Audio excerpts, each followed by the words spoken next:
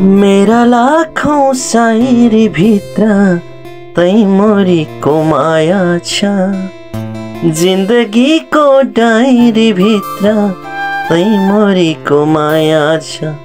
माया माया माया माया माया माया माया माया तै मोरीकै माया छ।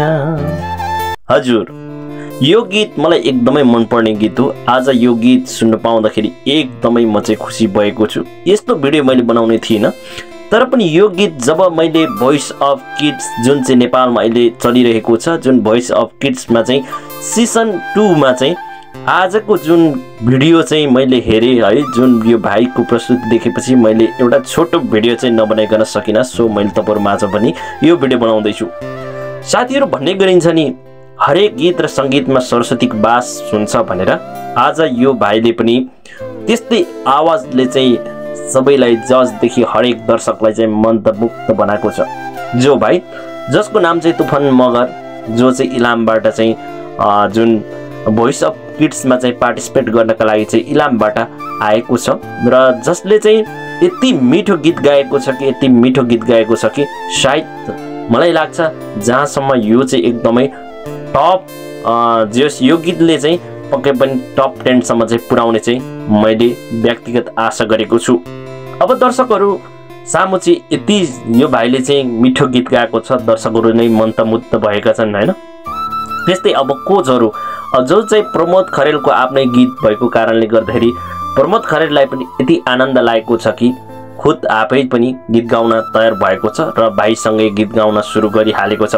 जसरी भाइ एन्ट्री गर्दै गर्दाखेरि चाहिँ यस्तो लाग्छ कि भर्खर गाउँबाट आएको बच्चा उसलाई त केही नै थाहा छैन जस्तो कि एकदमै इनोसेन्स होइन।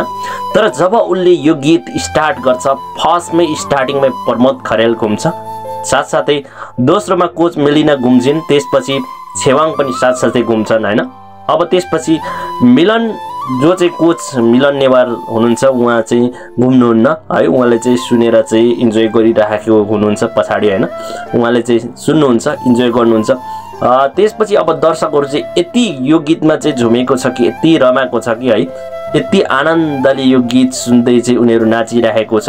अब प्रमोद खरेल यहाँनिर चाहिँ खुद आफै गाइरहेको छ है। यो भाइले यति राम्रो गीत गाएको छ यति राम्रो गीत गाएको छ। कुनै पनि शब्द नै छैन। त्यो कसरी शब्दले चाहिँ भाइलाई चाहिँ बयान गरौँ है? एकदमै भाइले चाहिँ राम्रो गीत गाएको छ। एकदमै एन्ट्री जसरी गरेको छ भाइले जसरी सुरुवात गर्यो यो गीतको अन्त्य पनि त्यति राम्रोसँग गरेको छ। जे होस् यो भाइले चाहिँ पक्कै पनि उसको स्वरमा चाहिँ एउटा सरस्वती बास बसेको हुनुपर्छ। सो एकदमै राम्रो गीत गाएको छ भाइले। तपाईँहरूलाई पनि यो गीत चाहिँ अब भाइले चाहिँ कस्तो गीत गाएको छ मैले यो भिडियो बनाइसकेपछि यदि तपाईँहरूले पनि भोइस अफ किड्स चाहिँ हेर्नुभएको छैन भने भोइस अफ किडको किड्सको च्यानलमा अफिसियल च्यानलमा गएर तपाईँले चाहिँ आजको जुन एपिसोड तपाईँले चाहिँ हेर्न सक्नुहुन्छ जस्ट आजको एपिसोडमा तपाईँले चाहिँ हेर्नुभयो भने एकदमै अमेजिङ भाइले चाहिँ गाएको छ है एकदमै अमेजिङ गाएको छ। अब तिनवटा कोच अगाडि नै घुम्छन् जुन भाइले गीत गाउँदा गाउँदै होइन प्रमोद खरेल फर्स्टचोटि घुम्नुहुन्छ त्यसपछि अब दोस्रो मेलिना तेस्रोमा चाहिँ छेवाङ घुम घुमिसकेपछि मेलिना चाहिँ सरी मिलन हाम्रो जुन कोच मिलन नेवार हुनुहुन्छ भोइस अफ किड्सको उहाँ चाहिँ अन्तिममा घुम्नुहुन्छ है त्यसपछि अब कोचको अब आफ्नो टिममा तानातान सुरु हुन्छ है। जे होस् अन्तिममा आएर चाहिँ यो भाइले चाहिँ अब डिसिजन चाहिँ के गर्ने भन्ने हुन्छ किनकि अब जो पनि जो कोही कुनै कोचलाई पनि यस्तो हुन्छ कि अब मेरो टिममा चाहिँ एकदमै दावेदार एकदम प्रबल मान्छे चाहिँ मेरो जुन टिममा चाहिँ भए चाहिँ राम्रो भन्ने त हुन्छ नै। तर पनि यहाँ चाहिँ अब रुल्स जुन भोइसको रुल्सको कारणले गर्दाखेरि चाहिँ आफूले आफैले चाहिँ जुन कुन टिममा जाने भन्ने कुरा चाहिँ अधिकार छ त्यो चाहिँ हामीलाई छान्ने अधिकार हुन्छ यहाँ चाहिँ। सो भाइले चाहिँ अन्तिममा चाहिँ सबै जस मलाई मलाई मलाई भनिरहँदाखेरि चाहिँ भाइले चाहिँ अन्तिममा चाहिँ खुद आफैले चाहिँ अब टिम मेलिनासँग चाहिँ जाने निर्णय गर्छ र ला लास्टमा अन्त्यमा चाहिँ टिम मेलिनासँग जान्छ।